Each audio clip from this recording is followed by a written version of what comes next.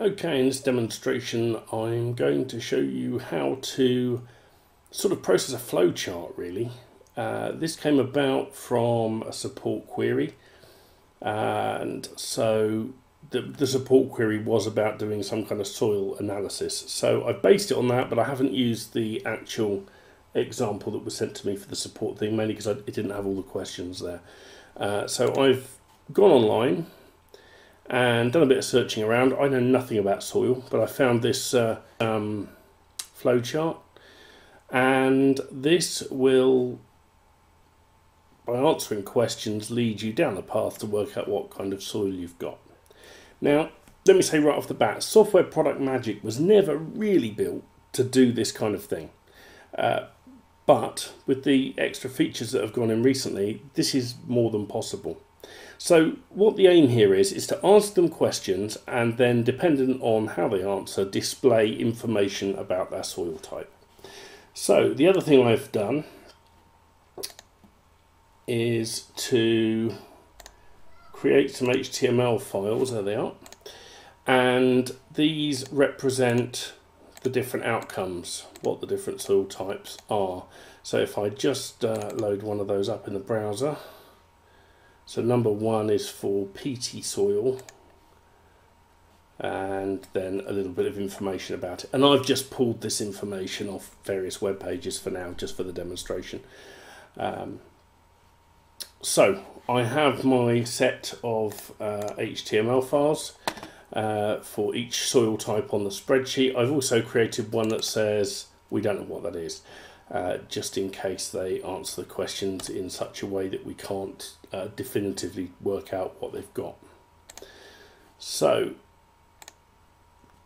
basically uh, all I've done is I've gone down this list and I've said okay this is going to be number one this is going to be number two type three four five six seven and they relate to the 0 through 7 HTML files that I've created. Okay, let's bring up Software Product Magic. And uh, so this um, is where those HTML files are. Now, obviously, they had no tags in them at all. So when I went to the next screen, I, there was no point in scanning for tags. It wouldn't have found anything. Uh, so all of these I've added manually. I've done add a tag, and then I've done one for the question about the type of peat that it is, about uh, whether the soil, sorry, is mainly peat based, and then for some of these I've then created a value. And this is just a temporary holder. It doesn't matter what you call these. Uh, but basically I'm using the same technique that was used in the e-calorie weight loss uh, demonstration video. If you remember with that video uh, the issue we had was that we had to do various mathematics and arrive at an answer. Now remember with software product magic the you know the conditions and the evaluation system is fairly rudimentary. So when you're doing the processing, you can't say for those, and this is just for the benefit of those that are watching this that have done some programming. You can't say if this is the case, then make this tag here equal this. Um, you can only affect the tag you're working on. So what we have to do is store a value based on the answer in these in these values here, in these tags here. And if the answer uh, doesn't require a value to be stored now we just stick a zero in and then we add them all up and we see what the total is. That's pretty much what we're doing. Uh, and then because of the way the spreadsheet, if they say yes to this, jumps straight to the display section, uh, I've needed to put in some conditional jumps as well. Um, so the first three are fairly easy. If it's that, it's going to set one of the things to 1. If it's not that and then it is that, it's going to set V2 to 2 and then jump to the end. It's going to set V3 to 3 and jump to the end. Here it gets a little bit different because if they say yes to this, it doesn't need to set anything at this stage. It can't until it's asked another question. So in those cases, uh, you will see. And when I first set this up and I, I was just playing with it in my head, I actually went through and put in uh, a jump and a V thing directly after each question and then went through and took out the ones I didn't need when I had it straight in my head. So, uh, let's Get back to number one. Okay, is the soil mainly peat? Answer yes or no. If they answer yes, we're going to put the value 1 into tag v1, otherwise we're going to put the value 0 in. Don't need any decimal places in the answer. And then we're going to do a conditional jump to the end. And the end part of the thing is this eval1 tag, which is where I'm going to add all the values together. So uh, if, if that now has 1, now I could have equally, in this condition, I could have equally have put that in there because basically that's only going to be 1 if that is true. So doing what I've done there is exactly the same as if I had done that.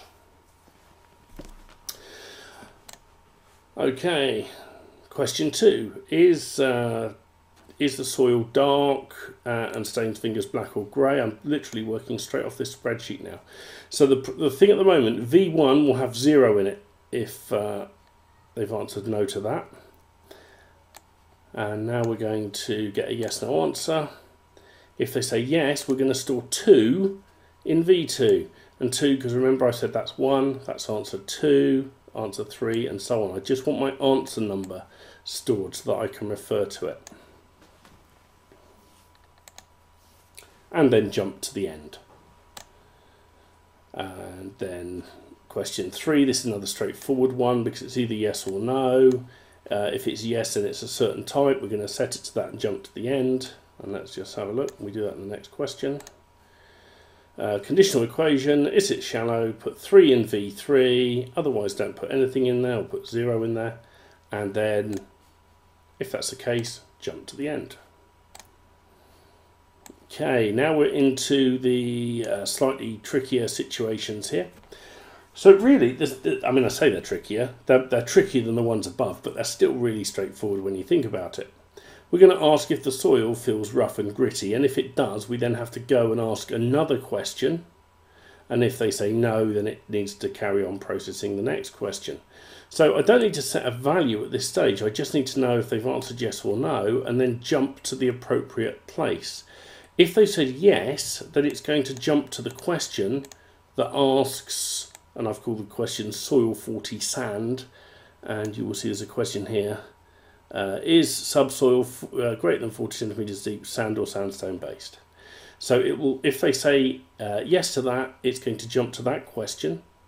Otherwise, it will continue processing, and the next question will be this one here. So if we look at that, and there it is. Is it smooth and buttery? And again, we're in a situation where we're either going to ask the next question, uh, or we're going to uh, do a jump. Now, here's the interesting thing. The way that this flowchart works, this last question, there isn't a no option.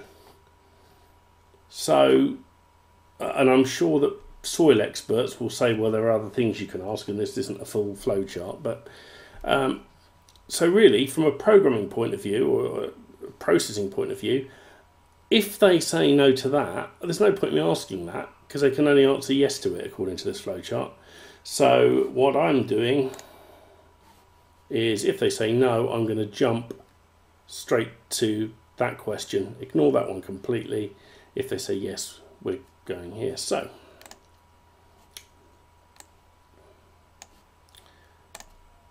if they say yes, jump to that question, the, the 100 question, which is this one here. Otherwise, it's going to process the next question, which in actual fact is this one here because we're ignoring that one. Okay, there's that question, yes or no again. Okay, now, if we go and look at that uh, question down here, if they say yes, then we have a soil type 7. If they say no, then it's a soil type 6, it's the medium soil. So into V6, that's exactly what I put, however they answer it. Now I've got an interesting jump here because at that point, regardless of how they answer, I've got the correct value. So I need to jump to the end. Um, but after that question, I don't need to check a condition. I always want to jump to the end because the next question in the list is one of these other ones from